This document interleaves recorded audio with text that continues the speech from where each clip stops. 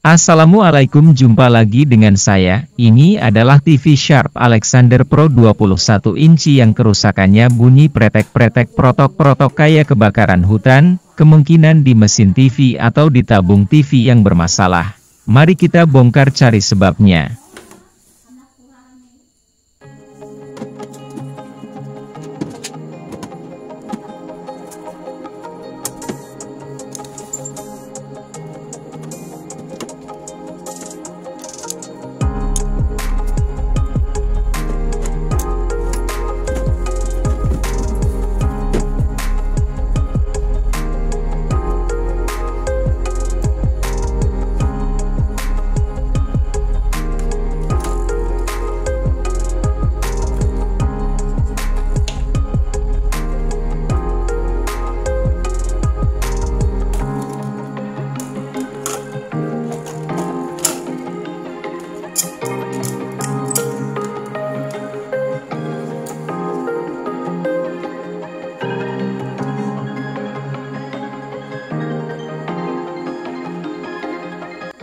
Setelah dibuka boxnya saya teliti ternyata di playback bocor sehingga arus tegangan tinggi keluar dari kabelnya. Kemungkinan karena umur TV sudah lama sehingga playback menua sudah saatnya harus diganti. Kemudian saya berupaya mencari gantinya dengan tipe, no seri yang sama, yaitu FA132 atau persamaannya JF0501, 32601, sama persis suku cadang ini mudah-mudahan tidak ada kekurangan, agar cepat selesai pengerjaan tidak pakai lama.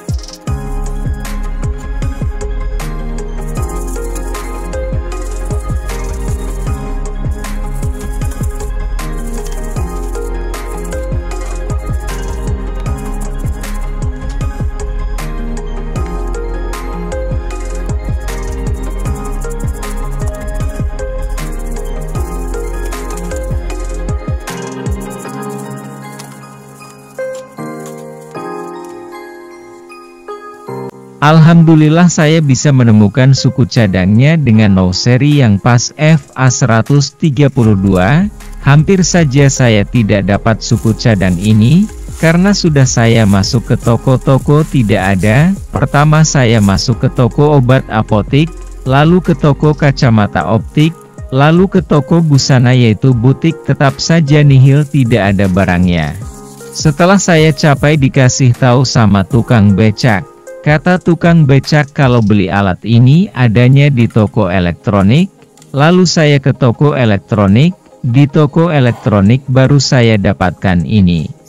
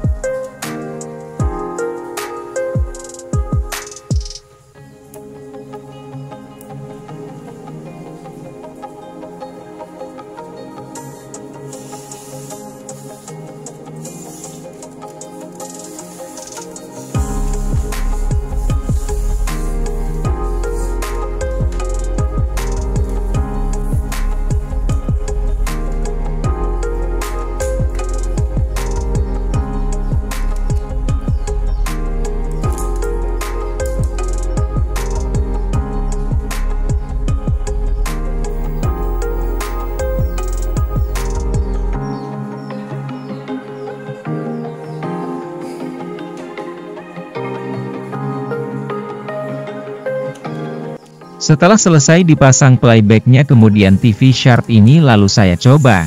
Eh ternyata masih ada gangguan lain, tidak bisa start, hanya bunyi start dan LED indikator nyala kemudian redup, alias gagal start. Kemudian saya fokus ke IC vertikal lalu saya ganti yang baru IC vertikal ini dengan nomor seri 78040, bisa diganti nomor seri yang lain di antaranya, 78141, 78045, atau AN5522, dan STV9302, itu adalah jenis persamaannya, dan masih banyak yang lainnya, saya hanya menyebut yang saya ingat saja.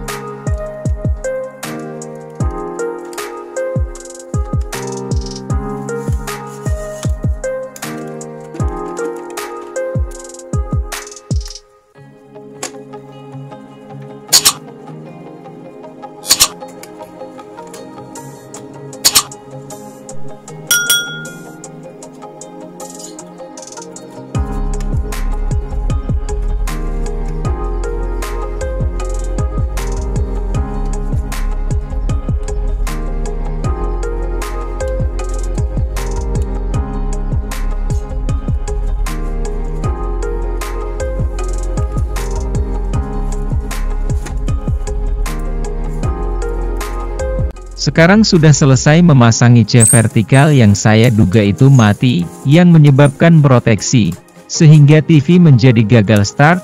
Setelah itu mesin TV dicuci untuk menghilangkan noda bekas solderan yang membandel. Saatnya kini saya akan mencobanya kembali apakah bisa start.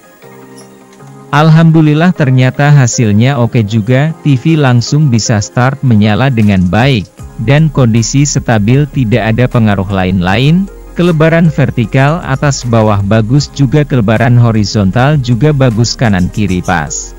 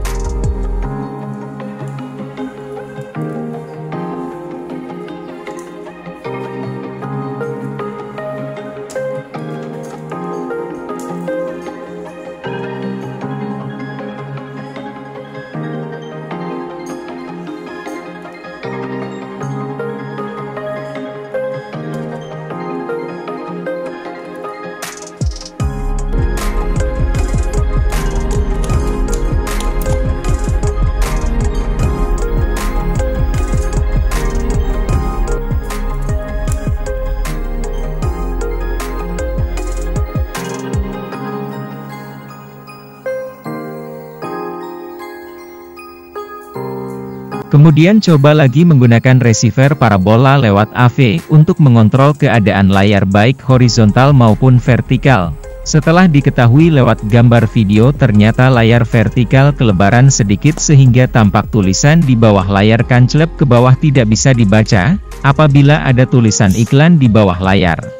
Kemudian saya harus masuk ke menu pabrik setting volume vertikal, atau faces lalu saya atur disinkronkan, hingga hasilnya maksimal gambar normal dan enak dipandang mata.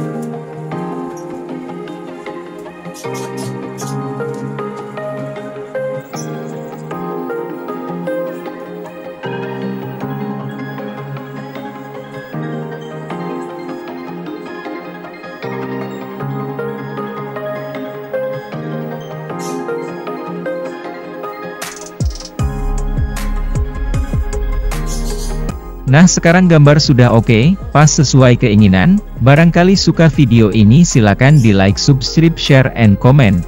Terima kasih sudah menonton semoga bermanfaat amin.